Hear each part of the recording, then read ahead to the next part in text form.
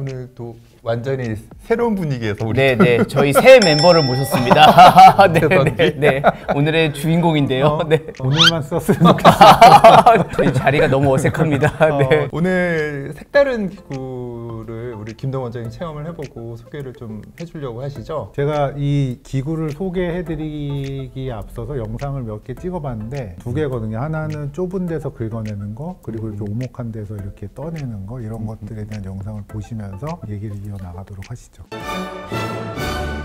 GP 리무벌 스피어. GP 콘을 제거하는 데 쓰는 창이다. 끝에가 화살촉처럼 생겼는데요. 이게 굵기가 0.3, 0.5, 0.7 이렇게 세 개가 있고 제일 작은 거는 창이 그 끝에 화살촉이 하나 있고 0.5랑 7은 두 개씩 있습니다. 얘로 이제 겉타포처를 이렇게 빼는 데 쓰는데 제 생각에는 아 이걸 지금까지 쓰던 로터리 파일 없이 얘만 그냥 갖다 대면 이제 이렇게 딱 찍혀가지고 겉타포처가 아주 환상적으로 빨져 나오지 않을까란 그런 생각을 했었는데 그 정도는 아니고요. 로터리 파일을 음, 음. 쓰셔서 어느 정도 제거를 하면 이제 잔사가 남아 있잖아요. 음, 그리고 음. 그 주변에 카날이 이렇게 완전 원형이 아니니까 그 모서리 부분에 조금 남아 있는 데는 회전 기구가 도달하지 못하는 그 아, 좁은 그런 거 빼낼 때는 정말 너무 네. 스트레스죠. 그거를 빼야 된다는 것도 모르지 않을까요?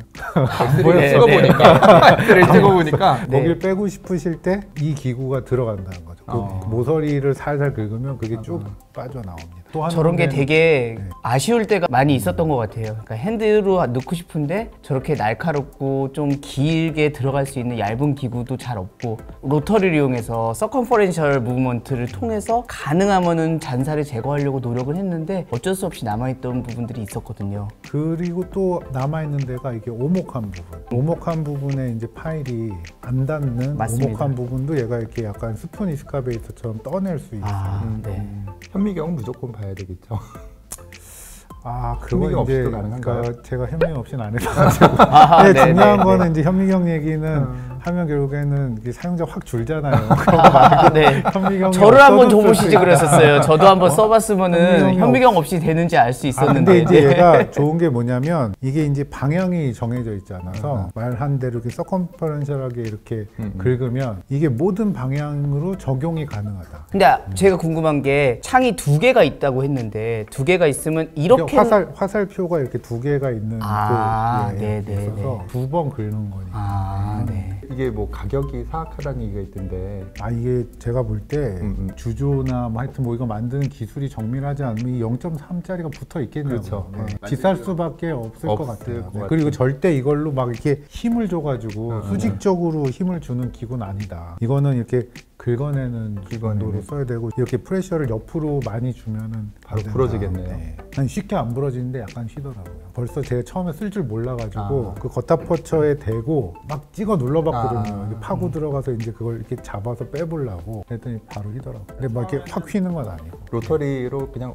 거의 대부분 제거하고 네, 네. 벽에 있는 것만 그렇죠. 네. 근데 그때- 그게 벽에 눈에 보이는데 안 제거 제거 안 되는 거 엄청 많잖아요. 짜증나고. 근데 그게 긁으면 바로 떨어지는 게 아, 좋더라고요. 굉장히 유용하겠네요. 제가 이거 쓸 때랑 안 쓸 때 차이를 느껴보면 확실히 음, 음. 얘가 굉장히 유용한 도구인 건 맞아요. 네.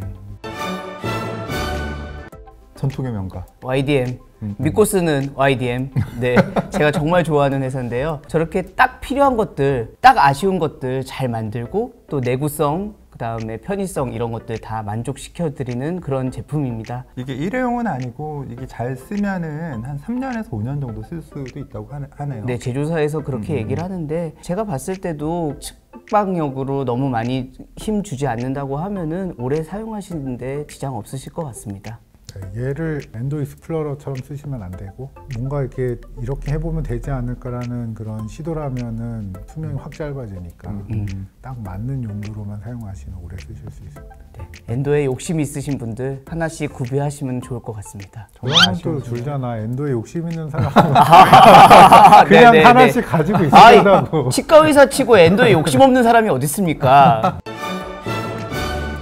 자 이상으로 좋은 기구 소개해 드린 것 같습니다. 이상으로 마치겠습니다.